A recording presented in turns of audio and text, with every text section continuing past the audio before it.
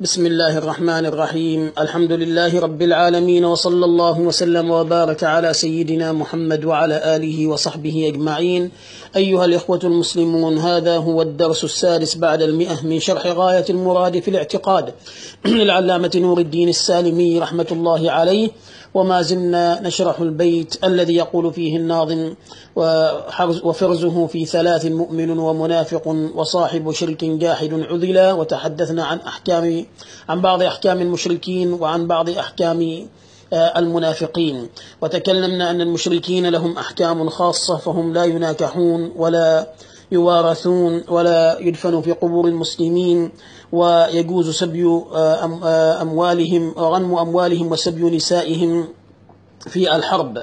وهذه ووصلنا عند هذه المسألة أي مسألة السبي سبي الأطفال والنساء.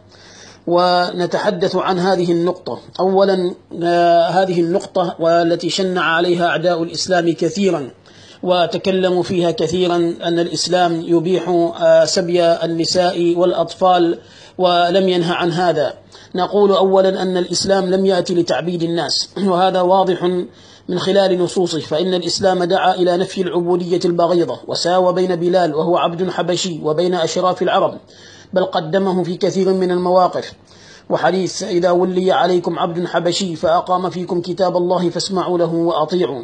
وكذلك يقول الله تعالى ولا عبد مؤمن خير من مشرك ولو أعجبكم ولا أمة مؤمنة خير من مشركة ولو أعجبتكم. ويقول سبحانه وتعالى إن أكرمكم عند الله أتقاكم. وهذا ربعي بن عامر قال لرستم إن الله ابتعثنا لنخرج من شاء من عبادة العباد إلى عبادة رب العباد.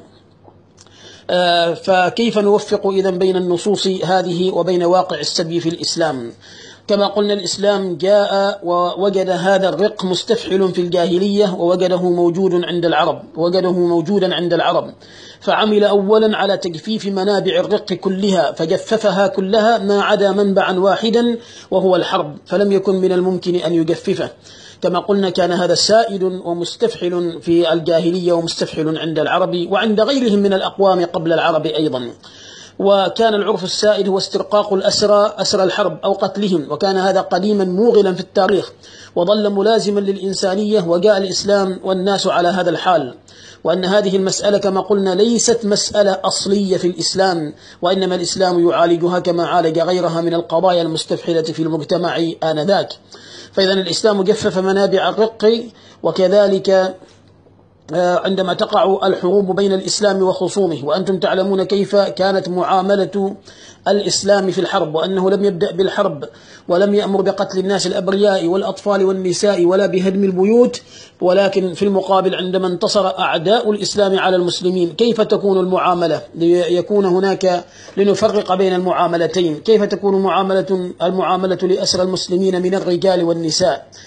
يعامل الرجل بالعسف والظلم والتعذيب والعبودية وتغتصب النساء بحيث أن المرأة الواحدة يفجر بها عشرات الرجال بلا ضابط ولا نظام ولا احترام للإنسانية. وفي المقابل انظر إلى المعاملة للأطفال والنساء في الإسلام. والمرأة تكون تحت رجل واحد يطعمها ويسكنها ويؤوي أطفالها. فليس من العدل إذن بعد قتل آباء هؤلاء الأطفال يشردون. ليموتوا في الطرقات. بل المنطق يقول أنهم يؤخذون ويربون ويعلمون تعاليم الإسلام ويؤوون ويطعمون. وهذا من الرحمة بهم أي بالأطفال بعد قتل آبائهم في المعركة.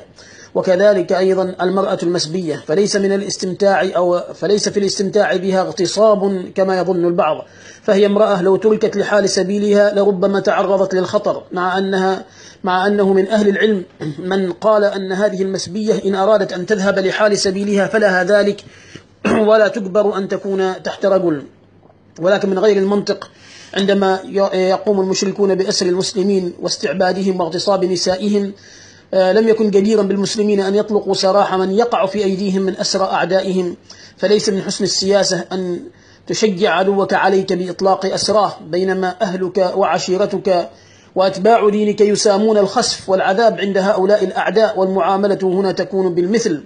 هذه هي السياسة وهذا هو المنطق وهذا أعدل قانون تستطيع استخدامه. هذا طبعا تستطيع استخدام هذا هذا يعني المعاملة بالمثل هنا هي أعدل قانون. مع البون الشاسع بين معاملة الإسلام لأسراه ومعاملة خصومه لأسرى المسلمين. بون شاسع جدا لا يمكن أن يقارن. ومع ذلك فإن المرأة عندما تؤسر من قبل المسلمين فلا تعامل كالحيوان بل تبقى مع سيدها يكرمها. ولا شك أنها امرأة لها غرائز فطرية. فلا إن بقيت في المجتمع المسلم بدون تلبية وظائفها الفطرية سينتشر في المجتمع الرذيلة ستنتشر الرذيلة وتعم الفوضى والشهوة غير المنظمة وغير الشرعية. لأجل ذلك شرع الإسلام الاستمتاع بها ولكن انظر إلى الضوابط التي آه، تحت آه، تكون تحت سيدها وهو رجل واحد لا يفجر بها عشرات الرجال. ومع ذلك لها كامل حقوقها من النفقة والإطعام والكسوة وغيرها. وأن هذه المرأة آه، التي تكون تحت الرجل بحكم السبي إذا دخلت في ملك الرجل بحكم السبي فإنها ستلحق بأهله وعياله وبالتالي هي لها كما قلنا حاجاتها الفطرية ومتطلباتها النفسية والجنسية. فلو منع الرجل منها لأدى ذلك إلى فتنة الرجل لأنها ليل نهار أمام عينيه. ولأدى ذلك إلى فتنتها هي كذلك لأن لها مطالب فطرية ومطالب جسدية. فهذا أولى وأسلم وأضبط من الوقوع في الحرام والمنكرات والفواحش. إضافة إلى أن هذا سيفتح لها أي أنها عندما تكون تحت سيدها سيفتح لها باب العتق. لأنها إذا حملت منه وأنجبت فقد صارت أم ولد وأم الولد تخرج من الرق الكامل آه، تخرج من الرق خروجا جزئيا جزئيا بمجرد وضع المولود أي إذا أنجبت. وتخرج من الرق خروجا كاملا بمجرد موت سيدها. فإذا لا مقارنة بين الإسلام وبين غيره مع أن الإسلام كما قلنا جاء ليحرر العبيد تحريرا نهائيا فأشجع للعتق فمن فعل كذا وأخطأ في كذا فليعتق رقبه وهكذا. عتق هؤلاء العبيد ولم يبقى عبيد في الإسلام وأدخل الناس هذا الدين أفواجا بسبب هذه المعاملة الطيبة. مع أننا قلنا أن هذه المسألة ليست أصلية في الإسلام وإنما الإسلام وجد أوجد لها الحل. على أن هذا كما قلنا في حالة الحرب وليس في حالة السلم أن تأخذ الناس وتشتريهم وتبيعهم في الأسواق فهذا لا يصح في الإسلام. ومن العلماء من يذهب إلى أن السبق والاسترقاق انتهى متمسكا بقوله تعالى فإذا لقيتم الذين كفروا فضرب الرقاب حتى إذا أثخنتموهم فشدوا الوثاق. وبين ذلك آه، بعد الإثخان والأسر بين الله تعالى قال فإذا أثخنتموهم فشدوا الوثاق. بعد ذلك فإما منا بعد وإما فداء حتى تضع الحرب أوزارها. فلا وجه ثالث لهما. لماذا حتى تضع الحرب أوزارها؟ قالوا هنا حتى هي ليست لانتهاء الغاية وإنما هي للتعليل. حتى تضع الحرب أوزارها أي لكي تضع الحرب أوزارها. لأن ذلك لو تقاتل لو لو تقاتلتم مع المشركين وأسرتم رجالهم وسبيتم أطفالهم وقتلتم رجالهم ونساءهم وقتلتم نساءهم وقتلتم رجالهم واستبحتم نساءهم فسيظل القتال موجودا فالله لا يريد أن يبقى القتال موجودا بين البشرية. فلذلك كانت هنا حتى عند هؤلاء العلماء للتعليل أي أن هذا الفداء والمن لكي تضع الحرب أوزارها. فإما منا بعد وإما فداء حتى تضع الحرب أوزارها أي لكي تضع الحرب أوزارها. وممن قال بهذا التخيير أي بين المن والفداء وأنه لا ثالث لهما ابن عباس رضي الله عنهما. زاد بعضهم والاستعباد أي أي الاسترقاق أي عفوا أي المن والفداء والاستعباد. قال ابن عباس أين هذا؟ لم يوجد في الآية لا قتل ولا استعباد بل فداء ومن. ولكي تضع الحرب أوزارها أي لكي تكون هذه وسيلة لإنهاء الحروب معاملة. وطبعا هذا الذي فعله النبي صلى الله عليه وسلم. ماذا فعل النبي صلى الله عليه وسلم في أسرى هوازن؟